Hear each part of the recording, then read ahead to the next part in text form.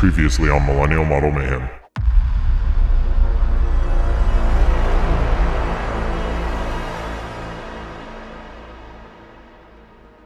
Well, I guess I still have a lot of work to do.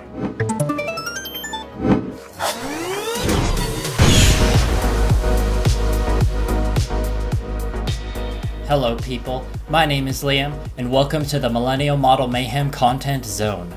Today, I'm continuing my quest to share how I find joy through expressing my creativity with models and miniatures. I'm going to be working on my 100 Kingdoms and Spires army for the tabletop wargame Conquest by Parabellum Games. This project has been a long work in progress, and this video might just be the most personal one I've uploaded to date. Well, as personal as I can get in this parasocial. By the Emperor, he's already getting off topic. I've been lying to you. Despite making all these videos about FOMO, imposter syndrome, burnout, procrastination, I'm still having a bit of a hard time. Don't worry about this being a resignation video, though. I'm not quitting or anything like that. Am I bad at following my own advice? Keep watching and you'll find out. There's bound to be both relevant and entertaining points for people from all backgrounds. Now it's time to get to work on those armies.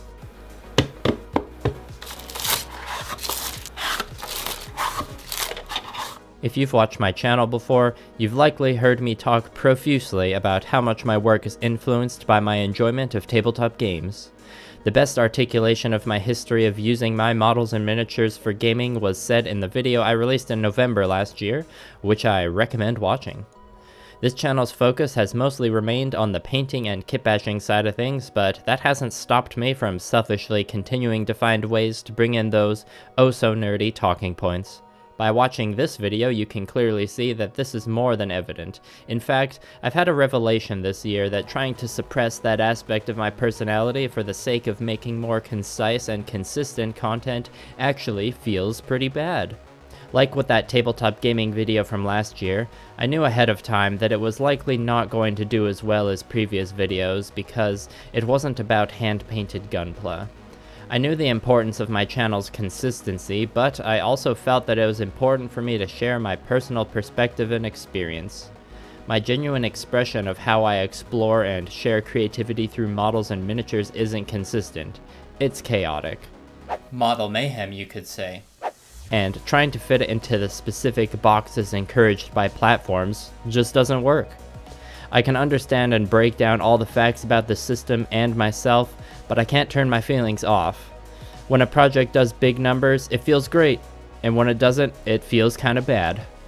The content creator industry is full of contradictions that bring on a lot of cognitive dissonance. And at a certain point, I realized I was manifesting self sabotaging behaviors in the back of my mind. I know this is coming across as pretty negative, but I felt the need to say these things for a while now. I don't regret taking the path that I did back in 2020 because I've learned so many useful things, and now I've found solace in the revelation that I don't desire the popularity and success that I might have had at the beginning of my time as a content creator. At the end of the day, I'm complaining from a position of privilege.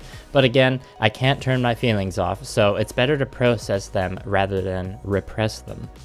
But to circle back to that tabletop gaming video, I'm still really proud of what I made there, and with all the tabletop gaming I've integrated into my work in general.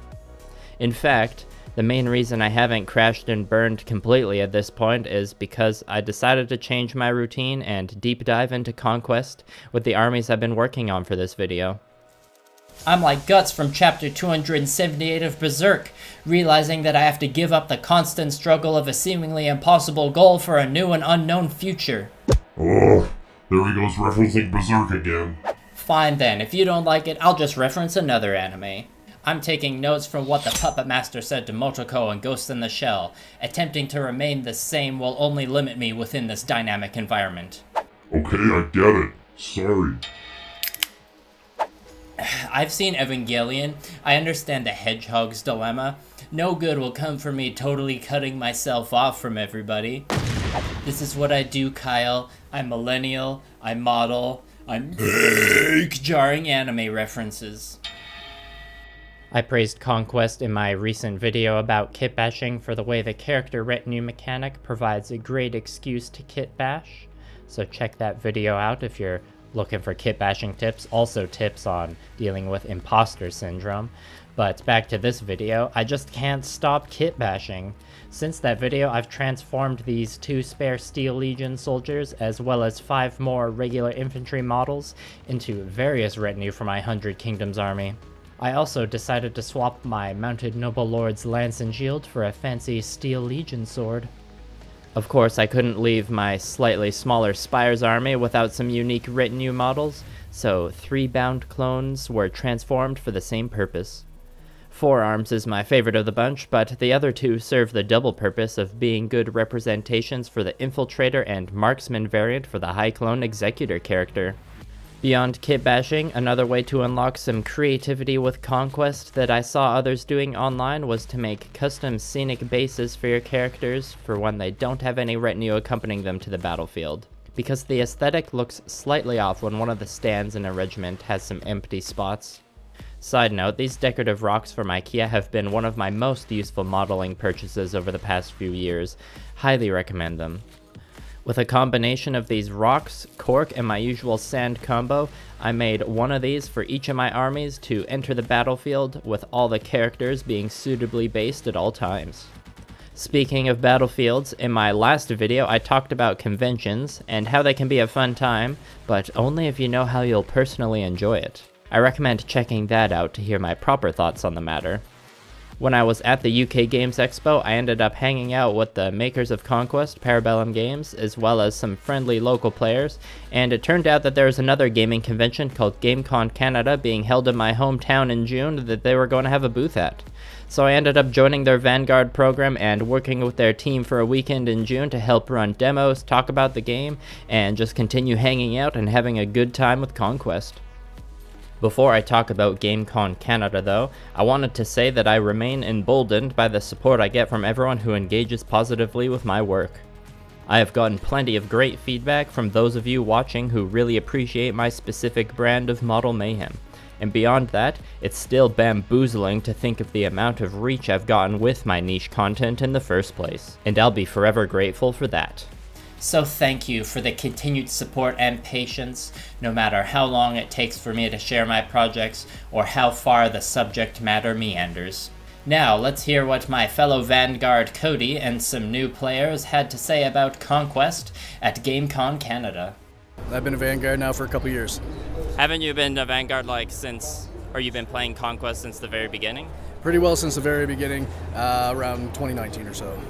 Nice. And why do you like Conquest so much? What's convinced you to commit so much time and energy to it? Uh, what convinced me really was the playability styles uh, between the two games. The you go I go system with the activations, the larger scales of the models, even the stories behind the models themselves is fantastic and so lore driven that it just kind of sucks you in when you get into it yeah, the combination of really good models, but also like really good and compelling lore definitely gets me in the same way. Just played a demo, uh, well, frankly, almost a full game yeah. of uh, Last Argument of Kings with Conquest. Yeah. What'd you think? I really liked it. I haven't played a regiment game before. I really liked the rank and file. I enjoyed the actual two actions, so you have to actually make the decisions on that. And what did you think? Uh, was this your very first game of Conquest? Absolute first game. Uh, had a blast, absolute blast. Like already, just the little tactical wheels are turning, things I could have done differently, and yeah, no, absolute blast. Now, I committed all this time and energy to the convention, knowing full well that it would take away from the work I logically should be doing for my YouTube channel's growth. But again, I actively chose the more personally fulfilling path.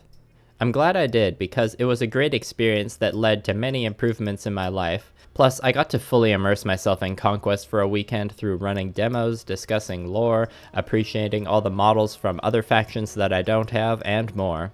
Conquest is a fantastic rank and file fantasy war game, and I've genuinely enjoyed all the time I've spent playing the game and working with the minis. Parabellum isn't sponsoring this video, but I do have an affiliate link in the description and pinned comment if you're interested in the game yourself. Code MMMayhem saves 10% and helps me earn a living. In the aftermath of GameCon Canada, I took it upon myself to organize weekly Conquest nights at my local game store, which have been successfully running for a few months now. Parabellum was kind enough to leave two of the demo armies brought to GameCon Canada with some reinforcements behind to live at the local game store, and while getting them ready, I naturally found an excuse to make a kit bash for both the W'adrhŭn and Old Dominion armies. I truly yearned for the return of some kind of recurring community meetup again, as I hadn't really had that since 2019. So having this new responsibility to organize that was actually something I was really looking forward to. It's been extremely gratifying to see more and more people build up and paint their own unique armies, and turns out that socializing through shared interests is good for you actually. Perhaps even more valuable than a paycheck.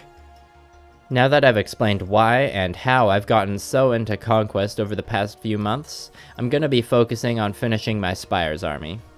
The mindset with army painting is quite different from painting a larger model, even within those two mindsets, so you can approach them both with varying degrees of speed versus quality. I tend to focus on painting my minis faster because there are typically a lot more of them, and then when working on something like a Gunpla project, I slow down a bit and take my time on the fine details.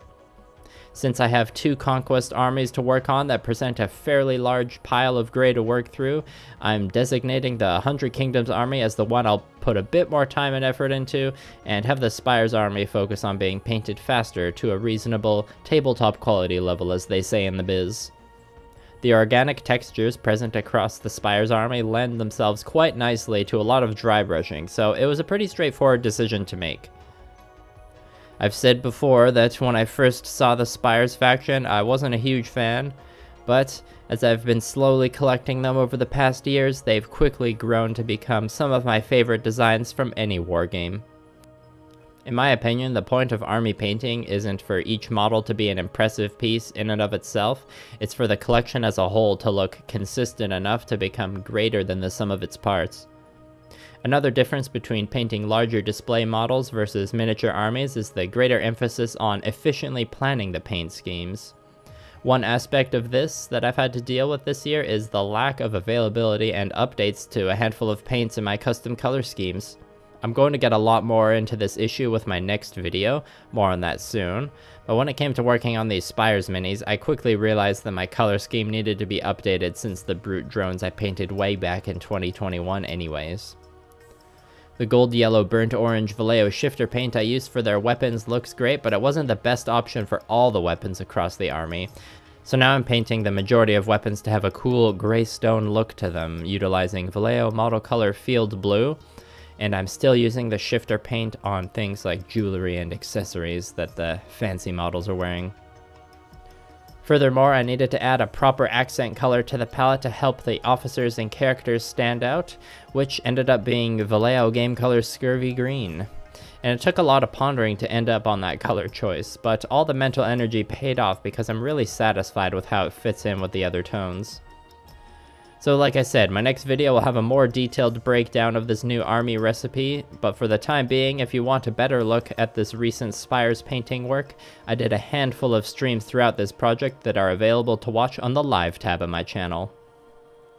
As I'm wrapping things up on the Spires, I want to briefly mention that while I haven't uploaded much YouTube content other than the community posts and live streams for the last while, I have remained active on Patreon and have been regularly uploading vlogs there throughout this entire project. So if you're looking for more Model Mayhem and a way to support my work, please consider visiting patreon.com slash millennial model mayhem. Join the ranks of these fine sprinkles to receive exclusive benefits and be among the first to know what sort of model mayhem I have planned next.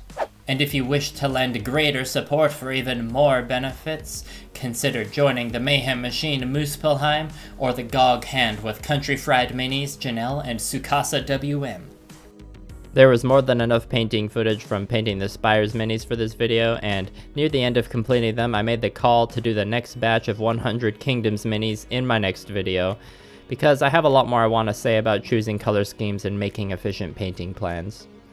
I felt like I needed to get my thoughts for this video off my chest sooner, which would give me more room in the next one to focus on more practical painting advice.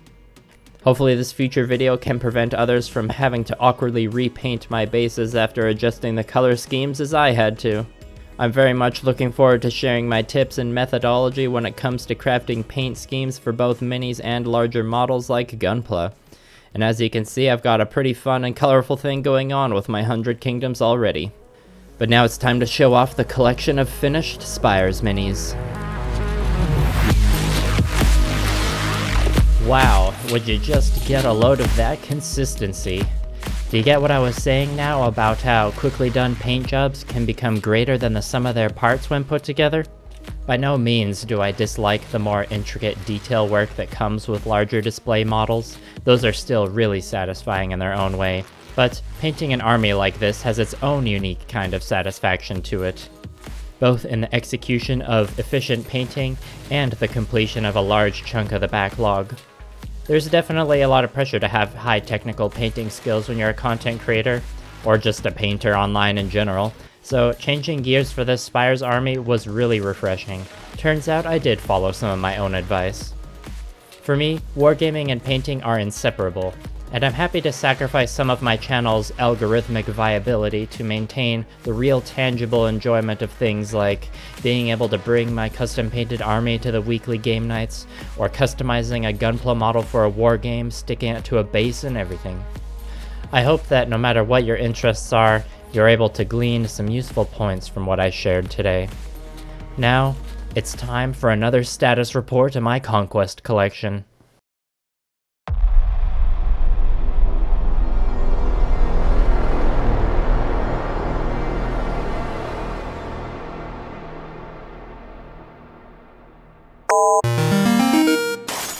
I uh, bought some more, whoopsie.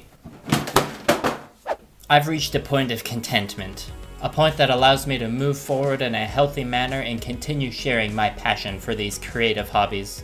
I'm going to continue enjoying my time painting and gaming with my Conquest minis, but I'm sure after not too long I'm going to have a hankering to go back to some Gunpla, and then I'm going to have a hankering to go back to minis after that, and so on. I'll echo what I said in my last video, that with any given interest, it's important to craft your own enjoyment. So I wish you luck in doing the same. Aside from donating on my Patreon, there are a number of other ways to support my work in the description, such as making a one-time donation or using that previously mentioned affiliate code MMMayhem on the Parabellum eShop. And of course, the free methods of liking, commenting, sharing, and subscribing here on YouTube and following me on the social media platforms are also very much appreciated. Thank you very much for watching to the end of this video. I'll see you again in the content zone for what will likely be my most colorful video yet.